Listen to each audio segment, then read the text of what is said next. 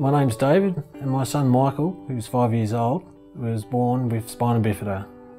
We've been using Northcott since Michael was about two and a half and he's just turned five. And the services we've used have been with the speech pathologist, with Rania, which has been great. It's been great working with Michael and David through Northcott. We've been able to have both home visits and school visits, so looking at what is real life for Michael and how we can incorporate language um, in a functional way for him. So therapy involves a lot of parent training. Um, as a therapist, we're there maybe one day every few weeks. Um, so what's really going to make the difference is that time in between and looking at upskilling the family um, and the teachers to be able to implement those strategies within the day-to-day -day routines and settings. Children learn through um, repetition and experience within their environment. So, um, for example, if we're teaching Michael a new word, um, we'd use that word over and over in different contexts in a fun way. And before we were involved in Northcott, Michael could, have, could only pretty much just say big cuddles and just repeat what anyone else said.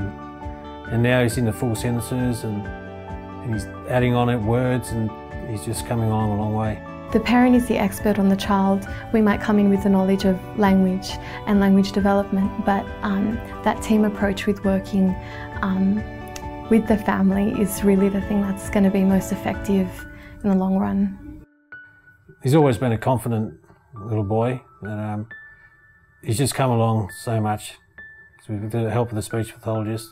And also with the walking, it's just great to see him walking. You know, they said he'd probably never walk, and now you look at him, he's just walking around and you know, smile on his face. At the beginning of a journey, when a family um, finds out that the child has a disability, it can be a really difficult one and um, I feel that the staff here at Northcott really understand that and are really considerate of the fact that um, the family has a lot on their plate and a lot going on. Um, and so it can be difficult to navigate through services and to find out, you know, what does my child need, what can I do to help them.